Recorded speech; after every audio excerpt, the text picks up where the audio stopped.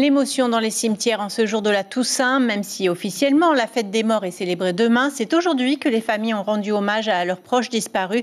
Mélodie Ouhilamoa Fassionné et Nicolas Suir se sont rendus au cimetière de l'Uranie à Papeete, particulièrement bondé.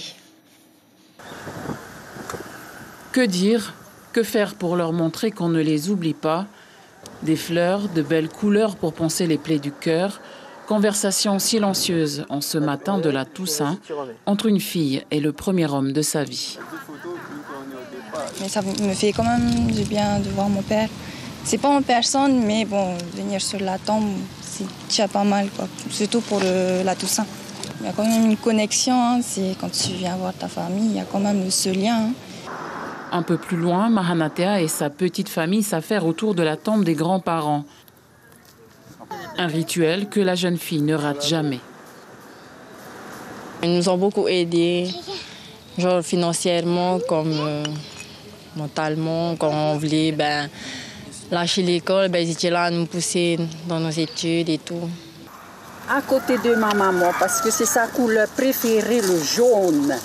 La couleur du soleil et de la vie, disait Vehia Tepava, une femme qui cultivait sa joie de vivre et même jusqu'à ses derniers instants.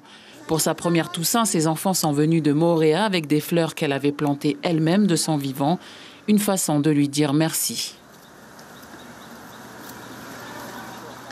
Une femme très joyeuse qui aime faire euh, euh, la fête, euh, rigoler, danser même.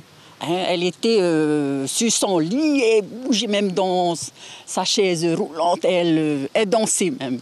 On ressent euh, ce qu'elle a euh, fait pour nous pendant euh, notre naissance jusqu'à notre âge. Hein, et elle nous a quittés comme ça.